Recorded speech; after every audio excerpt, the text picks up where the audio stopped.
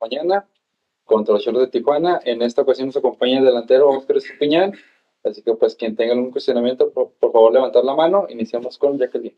Hola, Oscar. Buenas tardes. Jacqueline Almodóvar para Fox Sports. ¿Cómo te has sentido en este tiempo que llevas aquí en Ciudad Juárez? Ahorita lo mencionabas. Llegaste en septiembre y ya llevas, si no me equivoco, siete anotaciones en estas jornadas. ¿Cómo te has sentido? Y una segunda pregunta, ¿qué esperan para el partido de mañana ante un Tijuana de Juan Carlos Osorio que va muy bien y está en puestos de liguilla? Eh, buenas tardes. En principio me he sentido muy, muy feliz en la ciudad. Eh, las personas me han acogido de una muy buena manera. Eh, por otro lado, triste por, por el hecho de, estar eliminados.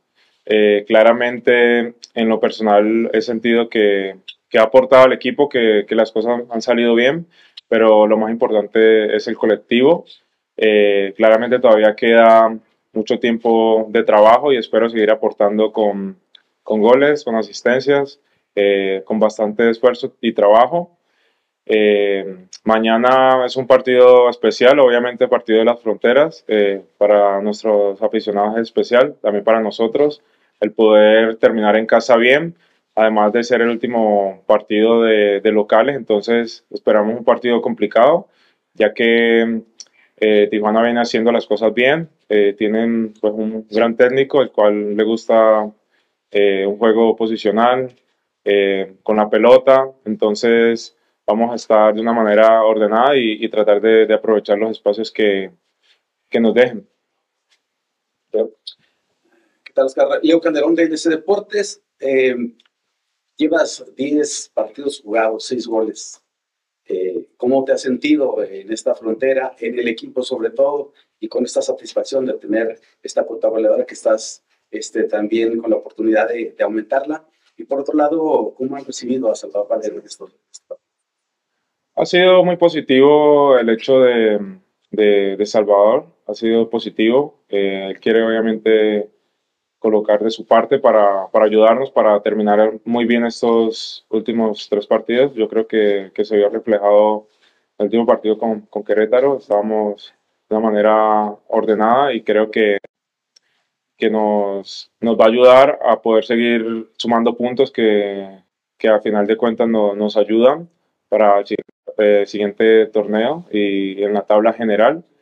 Eh, y como tal, en, lo personal me he sentido obviamente contento por, porque soy delantero y, claramente quiero estar marcando goles, eh, pero ha sido gracias al cuerpo técnico, a, a mis compañeros que son los que me ayudan, me colocan las asistencias y, y obviamente también es gracias a ellos. Oscar, buenas, eh, buenos días, buenas tardes, ¿Qué tan importante es ahora el, el, malo de la película, ¿no? El, el, obtener un resultado aquí en casa complicaría mucho la vida. De hecho, los que si bien ya están en el play-in, pues bueno, cambiarían todas sus aspiraciones, ¿no? De poder eh, aspirar a calificar directo. Ahora eh, lo estarían casi, casi marginando Bravos a, a Tijuana a visitar el play-in. Bueno, eh, nosotros nos jugamos nuestro papel, que, que, es sumar, es lo más importante para nosotros. Como lo decía ahora, en la tabla general, independientemente de lo que se juega el rival, para nosotros es importante sumar y más si, si estamos en casa, además de ser un, un partido especial.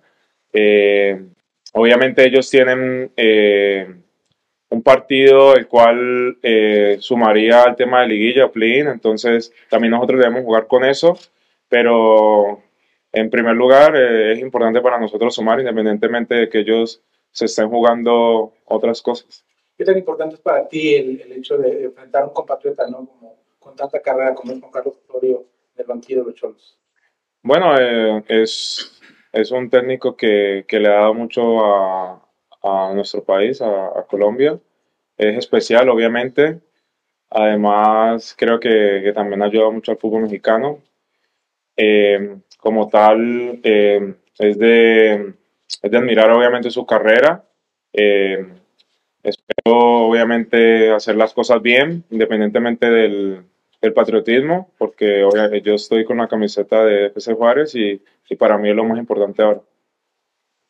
Oscar, buenas tardes, Mike, tiempo de La semana pasada decía Franz Sánchez cuando confirmaba la salida de, de Barbieri que pues sentía que era necesario oxigenar al grupo, oxigenar al equipo. Con tres cambios que hace Valero, el equipo toma, toma faceta diferente en, el primer tiempo. Tú como jugador, ¿cómo vives esta, esta oxigenación la cual se refería Fran? ¿O, es un partido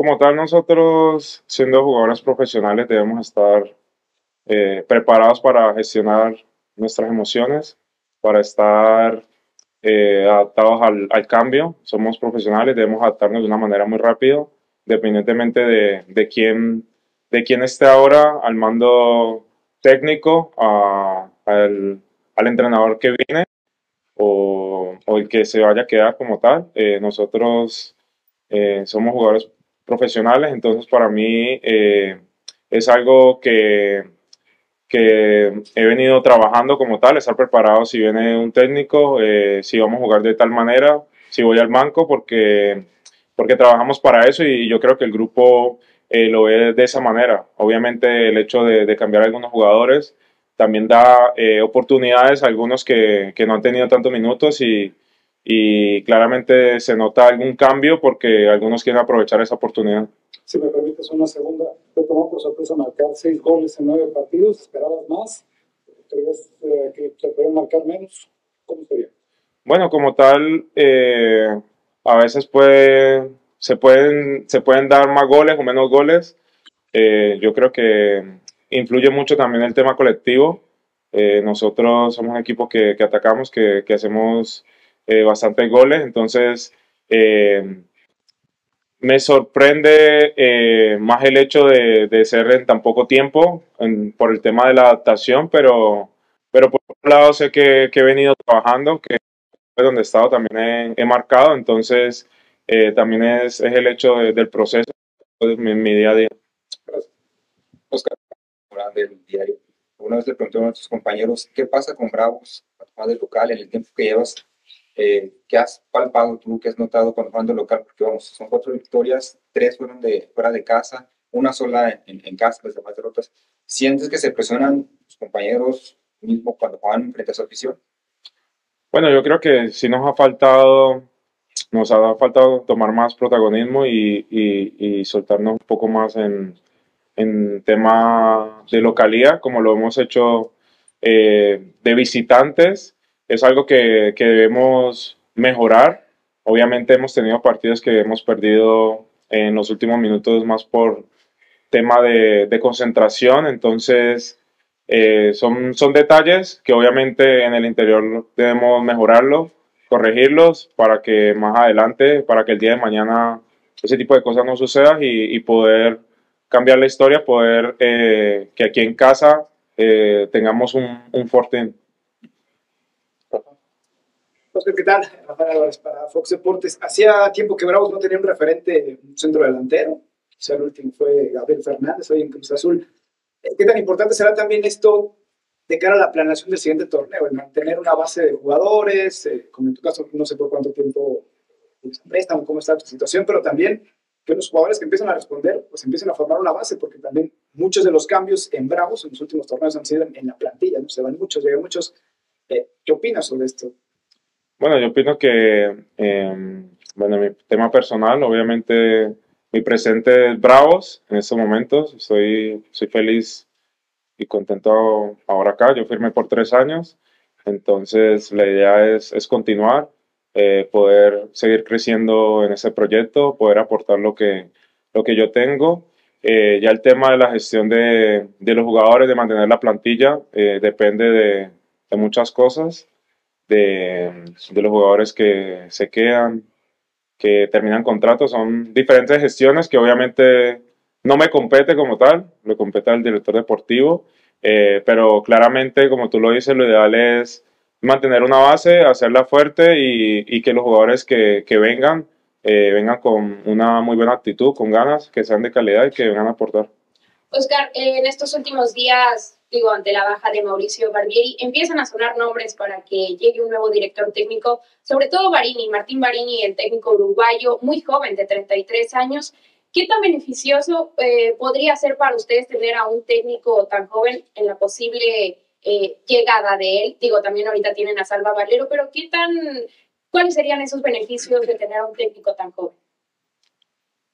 Yo creo que, que obviamente no, no podría hablar como tal de, de eso porque todavía no, no está eh, anunciado y obviamente sería una, una falta de respeto con, con el actual DT que tenemos. Entonces es un tema de que eh, la persona que venga, obviamente, o el que se quede, eh, debe aportar, independientemente de que sea joven o, o tenga más experiencia, por decirlo así.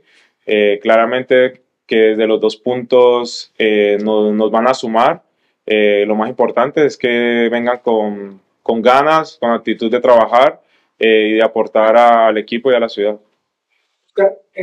Es inevitable, ahorita lo mencionan compañeros, seis goles en la mitad de tiempo de lo que tiene, por ejemplo, Paulinho anotando ¿no? en la Liga Mexicana y estás a, nada de él o estás muy cerca de, de los líderes de la tabla, eh, de repente empiezas a sonar y, y las, narraciones en las transmisiones y es inevitable decir, eh, Oscar Estupiñán se va a ir muy rápido de Bravos. ¿Qué tanto estás preparado para este vendaval de, de, del invierno, ¿no? donde seguramente varios equipos van a preguntar por tus servicios a algún club de Bravos? Bueno, yo he estado yo estaba enfocado y, y preparado como tal para, para jugar eh, eh, el partido de mañana, para jugar eh, también el partido de Pachuca. Mi presente ahora es, el Bravos, donde yo tengo contrato. Estoy enfocado aquí, soy muy contento. Obviamente ya es un tema de gestión que, que lo tratará el equipo, pero, pero en principio mi realidad y mi día a día y, mi, el día de, hoy es Bravos, entonces no, no, pienso mucho como tal en el futuro porque eh, para mí lo más importante es el presente y mi presente es Bravos. ¿Alguna otra pregunta aquí? Lo que has conocido, Oscar, este corto tiempo, ¿qué te ha parecido la Liga Mexicana? Eh, es una liga muy, muy competitiva, eh, creo que, que, hay equipos muy fuertes, que están muy bien, bien trabajados, eh, creo que, que obviamente va a seguir creciendo, que los jugadores que que llegan y obviamente los jugadores que están aquí, los mexicanos, tienen muchísima calidad. Eh, y, y, bueno, espero seguir aportando y seguir creciendo en esta liga. Y vamos a terminar con una pregunta vía Zoom. Nos pregunta Orlando Castelán, Oscar, ¿sienten que ustedes como jugadores quedaron a deber este, por cómo se termina el torneo? Sí, claro, nosotros estamos obviamente en deuda porque eh, el, el principal objetivo es es clasificar mínimo en el play-in. Eh, claramente estamos en deudas, pero nos quedan seis puntos. Intentamos cerrarlo de muy buena manera. Obviamente ya, ya pasó el tema de la eliminación. No podemos hacer nada más. Solamente pelear los seis puntos que, que nos quedan. Pues bueno, terminamos entonces conferencia. Muchas gracias por su atención. Agradecer también a Oscar. Los esperamos el día de mañana para el partido contra Choros.